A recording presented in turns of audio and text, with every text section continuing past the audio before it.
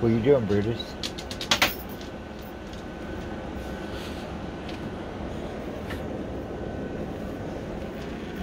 You have been just going nuts since we came out here.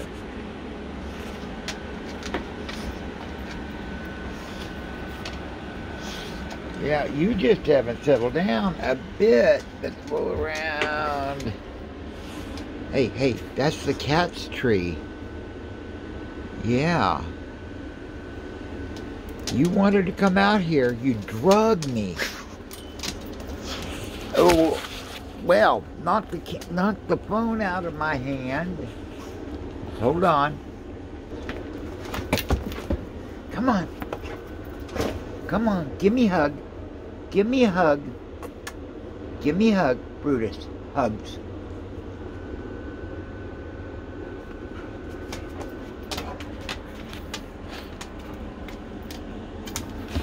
No. Out of there. Get up on the couch.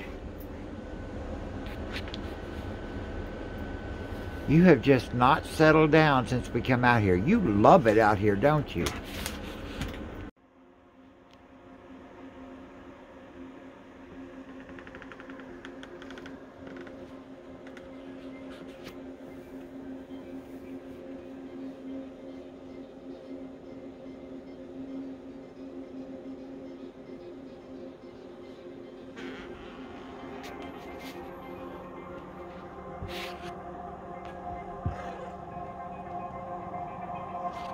哎。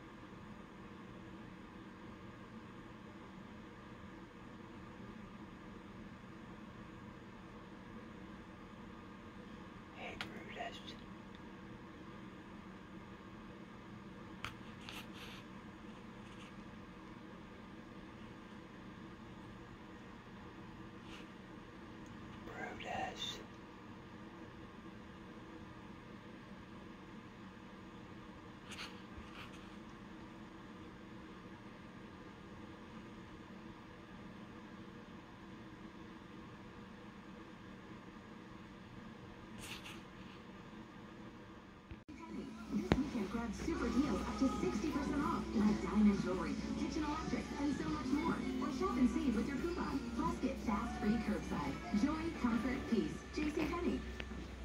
Kapow! A mobile plan that blows away all of those high price plans. Introducing Boost Mobile's all new shrinking plan. The longer you stay, the less you pay. Start at just $45 per month. After three on-time payments, your bill shrinks to $40 per month. Then bam! After three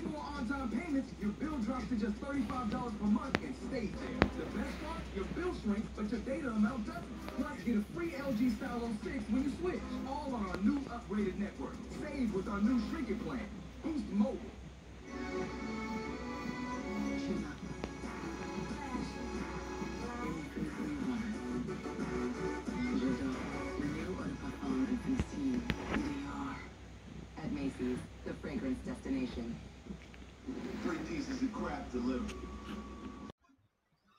Hello, everyone. I hope everyone's doing well, and uh, welcome to the Phenomenal Phive. If this is your first time visiting me, I'm sorry, I got to deal with Brutus. He's already spilt my coffee all over everything. I mean, it was on my phone, my backup hard drive, my mouse. It was on everything. Um, anyway, uh, if this is your first time uh, watching the Phenomenal Phive, I'm Larry. Um, and the other four is my dog Brutus and my three cats, Gossamer, Laverne, and Shirley. Um, we are in the process of uh, moving into an RV full time. Um, sorry, I'm keeping him a little uh, focused on me at the moment instead of the knocking things over. Um, anyway, so um, check out my other videos to show where we're at on that. Um, we have the RV uh, just uh, trying to focus on uh, finding an income source while I'm on the road. Um, one thing I found, remote jobs are out there. Um, if you can work Monday through Friday, 9 to 5 type thing, there are jobs out there. Um, but because I need to kind of have a little bit more flexibility than that, um, picking the days I work, um, that can change from day from week to week. Um, it's been a little more difficult. So, um, but we are still looking. Um, and um, I do have a couple of leads uh, um, in the works. Um, I'm still waiting to hear back from uh, their HR department on my request of, I, I don't want to call it my demands, but my requirements for looking any further into the job. Um, most places have been uh, very quick to respond that no, that won't work. And I respect that. So we're going to go on. Um, so my last video was um, my uh, trip down to Kirbyville, which I had to cut short um, because uh, first off, the furnace started squealing. Um, research has shown me that uh, the motor's going bad. Um, watched a video on how to replace the motor. Um, it looks like it'll, if I get the right tools, it'll be fairly easy. Brutus, stop. Yeah, stop. Sorry, he just wants attention like crazy. Um, but some uh, one of the things that they the guy that I watched the video on didn't actually show it being done but removing the blower fan from the motor itself um, is not an easy task as in it sticks it's solid in there and it takes a little bit to break it loose. Um, he does warn that if you have a plastic uh, blower well um, to be very careful that you don't crack it or be replacing it. Um, even though the wheel itself he says is like 20 bucks. Um, I did look online for different motors, um, and they're running anywhere from uh, 125 to 150 bucks a piece. I mean, they're probably more, some more expensive, some cheaper. That was just the general.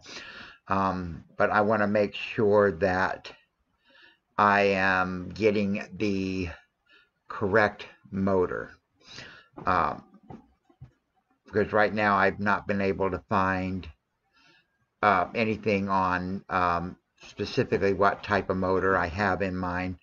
Um, the uh, I had, did not pull out the owner's manual and do looking to see if it's there. I need to do that. Um, or I just may go and take the motor apart, pull it out, look at it, order the same model if I can.